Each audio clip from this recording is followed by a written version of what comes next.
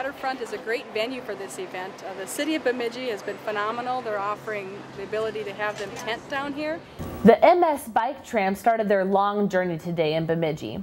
They'll be biking for the next five days, stopping and starting in the following towns. Walker, Park Rapids, Wadena, Fergus Falls, finally ending in Alexandria, making that a total of 253.3 miles biked. All the towns are really welcoming and it's fun to see Minnesota.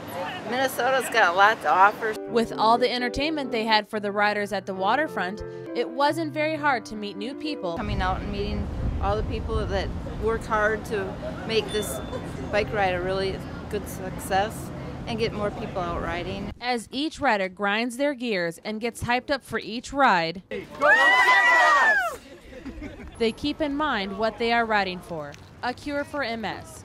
With this week's Community Spotlight, intern Alexandria Lester, Lakeland News.